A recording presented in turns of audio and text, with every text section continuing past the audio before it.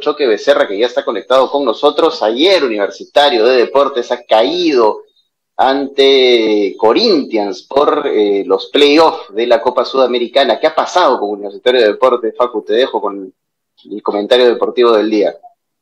¿Qué tal, Paco? ¿Cómo estás? El abrazo grande para todas las personas a esta hora de la tarde, como anticipabas, como habías hecho el resumen, perdió la U en su visita al Neoquímica Arena de Sao Paulo, el estadio del Corinthians le costó el partido universitario, un universitario que intentó presionar en salida los primeros minutos, después se fue desintegrando en cuanto a la presión. Una mitad de cancha despoblada porque normalmente el cerebro y el eje de la presión es Rodrigo Ureña. El chileno, sin embargo, no estaba arropado por los demás volantes y le costó a Universitario marcar justamente a los posibles receptores de Corinthians. Sufrió mucho la U en cuanto a los laterales, tanto Bolívar por un lado, Polo por el otro. De ahí llega finalmente el gol del conjunto brasileño por parte de Felipe Augusto, expulsado también en este caso Alex Valera, y es una baja sensible para la vuelta. Lo positivo, Paco, para Universitario es que la llave no está cerrada, es un solo gol de diferencia, la vuelta se juega el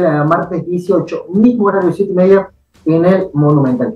Sin embargo, el Universitario tiene que corregir muchas cosas en cuanto al funcionamiento, y recordemos, Paco, que este era un Corinthians suplente.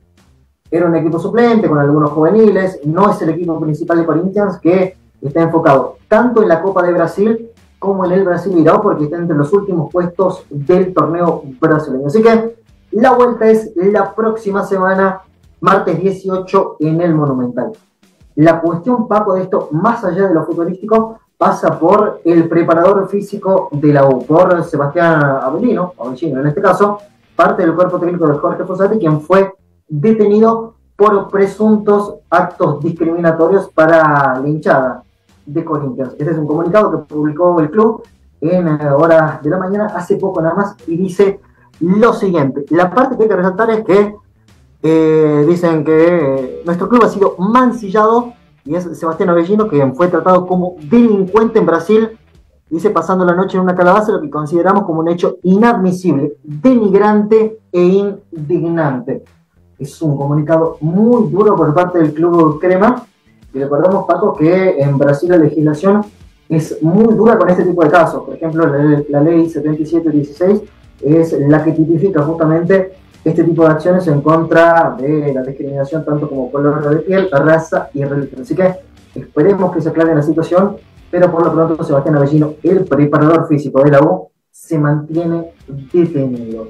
Lo otro, Paco, pasa por lo que rápidamente hoy a las 7 de la noche Sporting Cristal tiene también su partido de ida contra Melec por los playoffs de la Copa Sudamericana. Este es un Cristal que va de local primero, define de visitante en eh, Guayaquil, pero atención porque también tiene un rival muy complicado. Este es un Melec que no viene bien en el torneo local ecuatoriano porque está en los puestos de abajo también, en décimo tercero, sin embargo, puede sacar un buen resultado. La formación rápida o la posible formación de Cristal va con Solís en el arco, línea de cuatro en el fondo con Lora por uh, derecha, está Chávez junto a Ignacio y por el otro costado aparece Loyola. En la mitad de la cancha está Castillo con uh, Jotun también y con Pretel. Y arriba está Grimado por un costado, Hover por el otro costado y de punta está Brenner Marlos. Esta sería la formación de cristal para el vuelo de las 7 de la noche ante Emelec.